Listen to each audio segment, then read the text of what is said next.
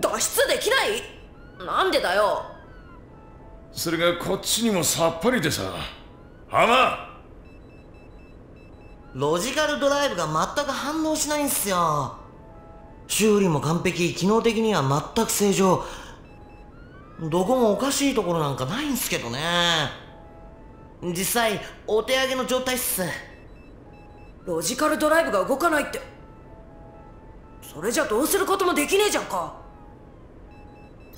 もうそうじゃな。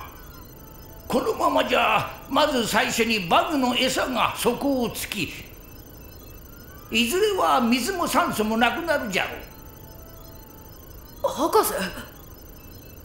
おそらくこの奇怪な大地から何かの影響を受け取るんじゃろう。こいつは調べてみるしかないの。原因は確かにこの大地のどこかにあるんだな断言はできんな。じゃが調べてみる価値はあると思うぞい。分かった。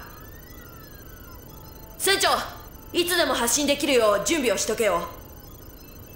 心配すんなよ。すぐに脱出させてやっからよ。